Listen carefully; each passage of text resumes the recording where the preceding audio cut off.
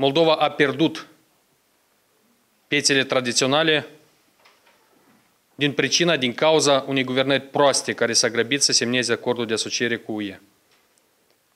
Молдова потеряла традиционные рынки из-за плохого руководства, которое поспешило подписать соглашение об ассоциации с Европейским Союзом. Власти обещали обеспечить рынок для фермеров, что у них не будет потерь, что они придут с реальной поддержкой, субвенциями. Сейчас товаропроизводители в отчаянии.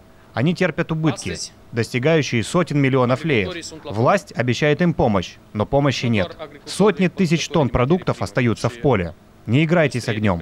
Если нужно, давайте в срочном порядке созовем заседание парламента. Este necesar, haideți să convocăm e, de urgență ședința Parlamentului. Haideți să-mi convocau. Игорь Дадон выступил с предупреждением в адрес нынешнего руководства. По его словам, если в течение нескольких дней власти не обеспечат земледельцам реальную помощь, социалисты приступят к протестам во всех районах страны, которые завершатся массовым митингом на столичной площади Великого национального собрания. Отдельно Игорь Дадон затронул тему Конституционного суда. Напомним, что в прошлый четверг, 9 октября, Конституционный суд Молдовы постановил, что соглашение об ассоциации с ЕС не противоречит конституционным нормам и не посягает на суверенитет страны, а любая другая Такая ориентация априори является неконституционной. Я хочу в скобках поблагодарить коммунистов, что они пошли в Конституционный суд для того, чтобы получить это решение. Я думаю, что это было сделано специально.